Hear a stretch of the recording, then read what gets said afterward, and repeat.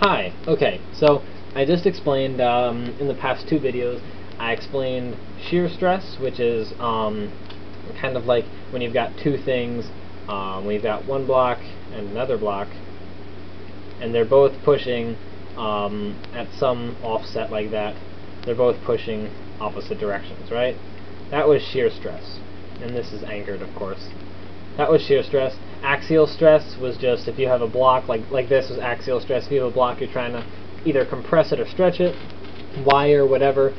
Uh, for both of those, you figured out that it's how hard you're pressing divided by the thickness of whatever it is um, that you're pressing against. The change in length or deformation was just what we said. It's the change in length. It's how much uh, whatever stress you apply. It's how much that changed um, the length of whatever the object was. The strain, we said, was a percent change. So if it starts out at um, 100 inches and it ends up at 101 inches, well, uh, that means that the change in length was 1, right? Uh, so 1 over the original length, 100, gives us 1 over 100, that's 0.01, or 1% change. Um, then we got to this equation, which was the elasticity modulus. This is often given to you in a table. The elasticity modulus is going to be equal to um, basically uh, how much stress you have to put something under divided by the percent change that you want to deform it. Um, so, so remember this is uh, in pounds per square inch divided by this is unitless because it's just a percent. So the elasticity modulus is also in pounds per square inch, which you might see see written as either uh, pounds per square inch or just pounds per square inch you'll see either PPSI or PSI. You'll see that a lot.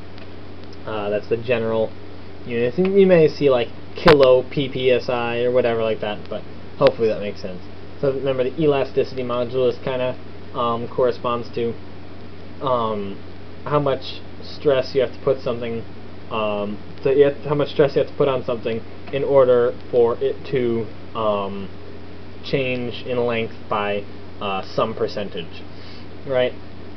Um, which means that since this is kind of part of the, for the force and the area, if you know the cross-sectional area, well then you can use this to figure out how much force um, you can apply without this stretching by more than, say, 2%. So say this can only stretch up to 2%, you can figure out up to how much force it can withhold. Um, so hopefully all that made sense. Now I'm going to tackle uh, one or two of the problems in the POE packet. Problems uh, first I'm going to start with problem number one. Uh, it reads, an uniform, okay, a uniform axial force of one ton is applied to an aluminum cube that is two inches on a side. So, first, let's draw it. Whoops, sorry. Um, we're going to draw the cube. Cube. I'm going to make it a good cube because I want it to be a good diagram because I'm just that cool. You know. You know how it is. Okay, so um, we're going to have this kind of shaded in. We're going to have that kind of shaded in. Ooh, look at that attention to detail. Yay, Miss G actually taught me something. It's shading. Okay. Um, so actually here, let me erase this stuff. Right, because we can't see that because it's behind the block. Haha, I win, I beat you. You lose, go back to Russia. Not really. Anyway. Okay, so um, here's our block, right? And um, it's being pushed on with a downward force of, I think it said, one ton, which is, uh, we're going to write it in the form of 2,000 pounds right? 2,000 pounds. I'm not going to keep units for the whole thing, but uh, that's 2,000 pounds. Uh, and it said that the height is 2 inches, right?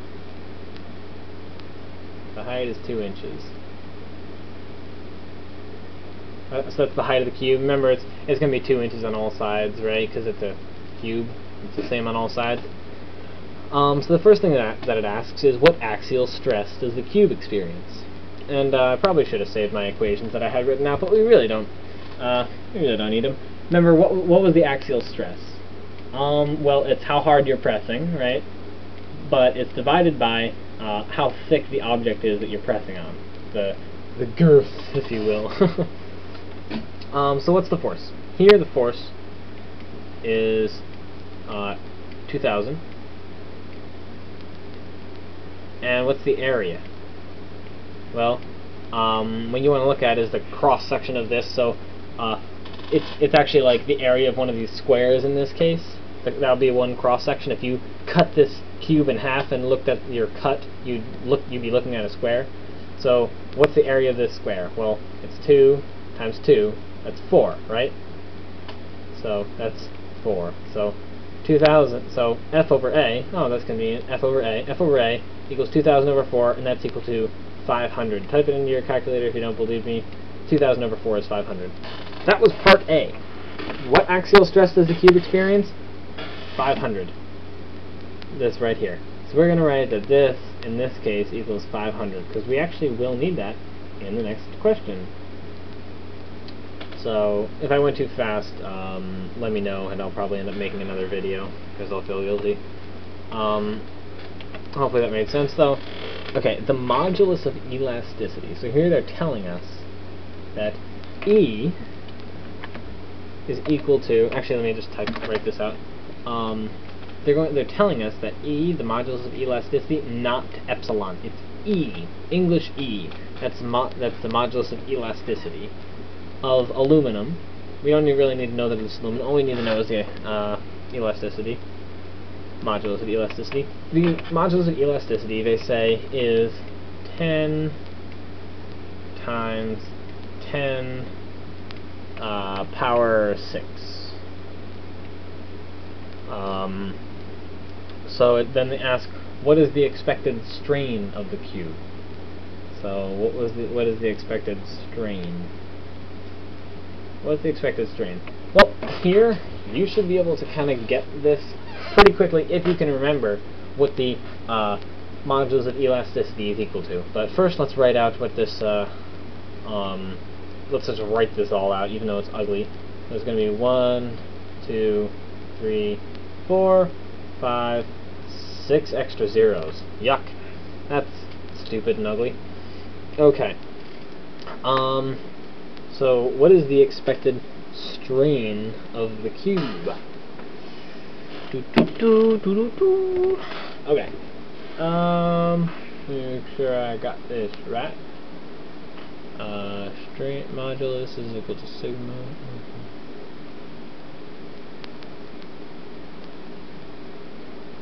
Hmm. I might be getting a wrong answer here. Let me pause this. Okay, sorry. I was uh, I was kind of looking at um, the answer that I got in my actual packet, and I was like, huh, that doesn't make sense with where I'm going with the video. And it turns out I was wrong before, I'm right with the video, so you guys are good. Um, okay, so here we have our gigantonormungous number. It's that's uh, 10 million. Remember, this is in pounds per square inch. That's just what the elasticity module is, modulus is, but that's pounds per square inch. Um, and what is E equal to? Besides mc squared, because we're going to ignore that identity for now. It's a different E. It's sigma over epsilon, right? That's just our definition of the elastic modulus, stress over strain, right? So we know uh, the stress, and we know the elastic modulus. So let's plug that crap in. Okay, now I'm going to type it out. So 10, 0, 0, 0, 0, 0, 0 is equal to, right, that's just the elastic modulus, is equal to, uh, well, sigma, that's 500, 500 over, over what? Over E, over that, that weird sigma E. Um, so that I'm going to write in, because I don't want to use any kind of misleading English letter. So that over E. Um, so now let's multiply both sides by E,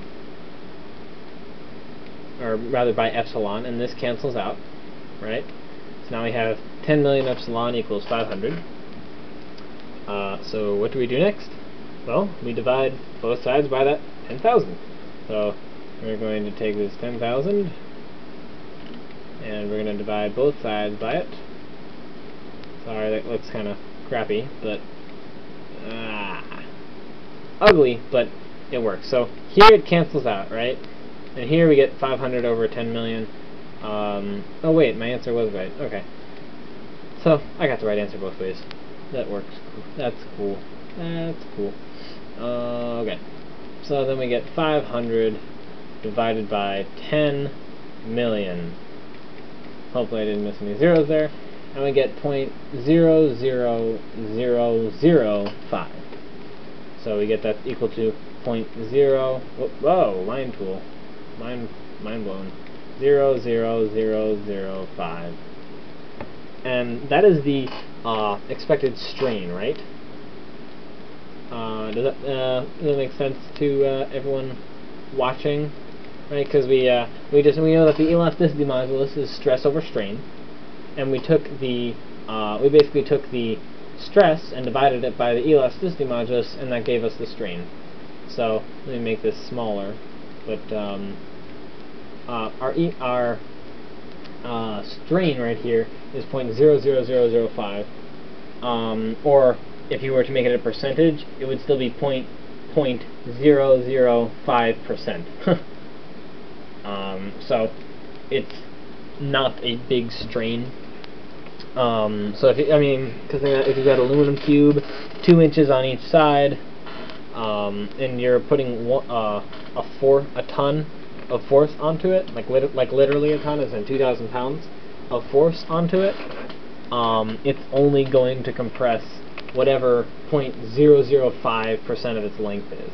So aluminum is uh, it's pretty tough stuff. It doesn't seem like it, but uh, it's tough stuff, and a lot, a lot, most metal is. I'm actually wondering if I had my last problem wrong. Eh, nah, I probably didn't. I don't think I did. I don't think I did, now that I think about it. Okay, so let me get back to my discussion. Um, the third part, part C. Assume that the maximum shear stress uh, that the aluminum could withstand is given in the table on slide 2. So remember shear stress, and by think shear, um, remember this tau, it's kind of like this is being kind of sheared downwards. Uh, that's how I think about it, because it's like that T with a bend to it. Uh, that tau is equal to the force over the area, and they're saying that that max, that they're saying that that max is equal to, according to this table, it's equal to uh, 11, and that's um, kilopounds per square inch. So uh, that's kilopounds per square inch. So 11, and if that's kilopounds, well, we can just make that 11,000 pounds per square inch. PSI. So 11 uh, kilopounds is the same as 11,000 pounds. If you don't believe me, try some dimensional analysis and check that for me, but I'm pretty confident that it's correct. Um, so what is the maximum shear force that could be applied to the cube? Um, so basically, what's the maximum value that F could be? Okay, well, we know the area, right? Uh, right away, we said that the area was equal to 4 square inches. Right, because it's just that, that, two, that number 2 squared. Um, so that's the area. And uh, we know that the force divided by the area cannot be bigger than this.